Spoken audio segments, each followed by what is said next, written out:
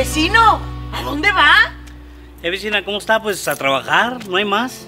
Pero no está viendo la situación. Pues sí, vecina. Ay, sí, no, de lejecitos. Sí, no se preocupe. Eh, sí, vecina, pero ¿qué, qué hace uno, hombre?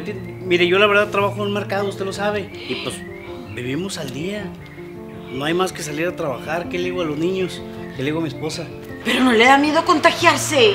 Digo, pues sí, entiendo y, y- y sí me da miedo, pero o me muero de la enfermedad o me muero de hambre. ¿Qué le doy de comer a mis hijos? Pues sí, pero lo más importante es la salud. Sí, le entiendo, vecina, pero digo, usted tiene una casa grande, tiene hasta alberca atrás. Yo no tengo ni clima. Imagínese, ya van a llegar los recibos, no tengo ni cómo pagarlos, no tengo ni para la cena. Yo lo entiendo, pero pues dígame con confianza, vengas a mi casa, aquí podemos comer. Tráigame a los niños, que hay comida para todos. Sí, vecina, muchísimas gracias. Pero pues, la verdad es que no puedo estarle viniendo a poner gorro todos los días. Y la verdad es que esto no se ve ni para cuándo termine. Ay, pues sí lo entiendo, está muy cañón esto. Sí, la verdad es que yo también lo entiendo. Sé que hasta se trajo a sus papás para cuidarlos también. Y pues yo no puedo ser una carga más, ¿estamos de acuerdo? Y pues, bueno, me tengo que ir a trabajar, vecina. Y mejor y me despido. Ya sé. Nos vemos. ¿Cuándo terminará todo esto? Cuídese, vecino.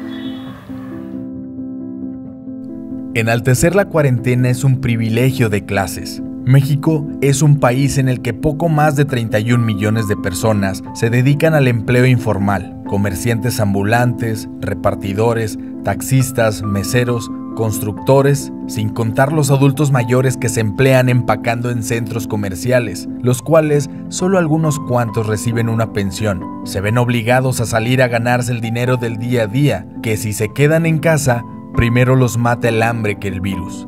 Mientras, otros tienen amarrado un cheque mensual y pueden darse el lujo de quedarse en casa. Así que la medida de aislamiento cae como agua fría en toda América Latina. Lo único que se espera es que esta pandemia pase lo más rápido posible. Si tú eres alguien que tiene empleados, no los despidas.